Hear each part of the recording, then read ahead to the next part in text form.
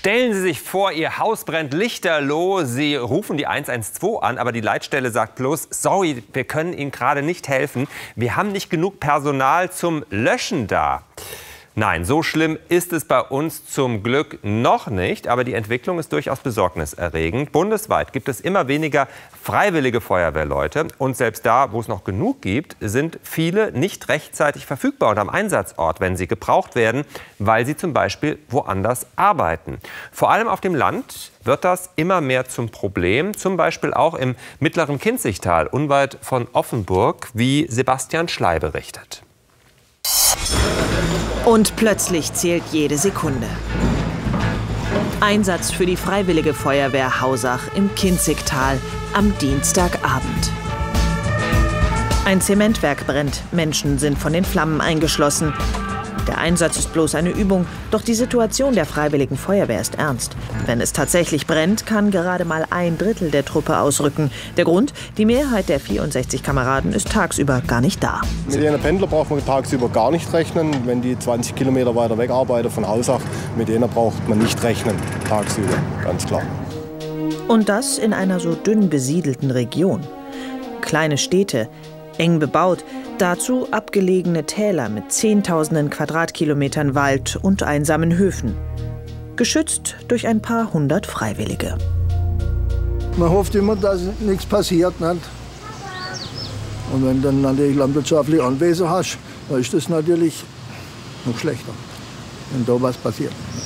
Das brennt ja dann gleich lichterloh. Mein bester Freund ist bei der Feuerwehr. Der schafft aber auch 30 Kilometer von hier weg. Der kann auch nicht zu jedem Einsatz. Dann zu wissen, dass es dauern kann und dass dann so ein Schaden entsteht oder vielleicht auch Menschen in Gefahr geraten, ist natürlich ja, schlimm. Ein paar Kilometer weiter in Wolfach. Seit knapp 160 Jahren gibt es hier schon eine freiwillige Feuerwehr. Die Tradition wird gepflegt. Doch die Zukunft macht Kommandant Christian Keller Sorgen. Die wenigen Freiwilligen, die er am Tage zusammenbekommt, haben die gleiche Verantwortung wie ihre Berufskollegen in den Städten. Das Haus in der Großstadt brennt genauso heiß und so hell wie das auf dem Land. In der Großstadt habe ich eine Berufsfeuerwehr und auf dem Land brauche ich eine freiwillige Feuerwehr. Das ist eigentlich ein Beispiel, das ist eigentlich in anderen Ländern nicht so üblich, aber deswegen brennen die Häuser dort meistens auch ab. Oder die Leute versterben in ihre Fahrzeuge, manchmal Verkehrsunfall. Aber wir haben hier immer noch die Hilfsfrist von zehn Minuten, wo wir eigentlich im Kernbereich hier vor Ort sein sollen. Inzwischen werden gleich die Nachbarfeuerwehren mitalarmiert, wenn es brennt. Wie hier vor etwa anderthalb Jahren in Schramberg. Alleine geht im Ernstfall immer weniger. Auch Betriebsfeuerwehren müssen öfter mit anpacken. So ist das auch in Hornberg. Dieses Feuerwehrauto ist noch relativ neu. Doch mit der neuen Technik kommen immer auch neue Lehrgänge und Prüfungen, die wieder in der Freizeit der Kameraden anfallen. Zusätzlich zu den Problemen der Freiwilligen Feuerwehr wachsen also auch noch ihre Aufgaben. Muss man auch mal so sagen, dass es nicht selbstverständlich ist, sondern dass wir darauf angewiesen sind, dass auch in Zukunft ähm, Bürgerinnen und Bürger ähm, sich engagieren für die Gesellschaft, sei es Feuerwehr, THW, Rotes Kreuz, wie auch immer, damit das System funktionieren kann. Und die Bürger selbst? Sie sind im Ernstfall auf die Freiwilligen angewiesen. Aber wer hat schon mal überlegt, mitzumachen? Ich selber eigentlich persönlich noch nicht.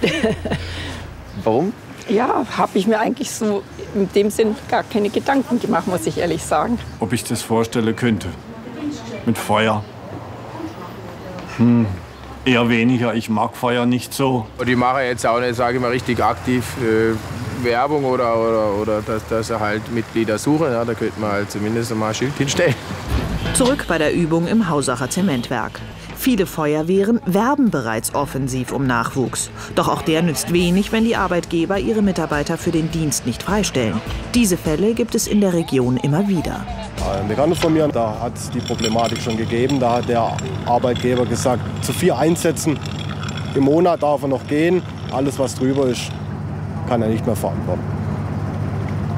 Klingt das für Sie? Ja, beängstigend, ja. Beängstigend, ja. Die Übung geht zu Ende. Anstrengend war es trotzdem. Ein harter Job nach dem Job. Freiwillig. Seid ihr bereit? Ja. Eins, zwei, ab! Schon morgen könnten sie auf echte Flammen treffen. Echte Leben retten. Zumindest die, die Zeit haben.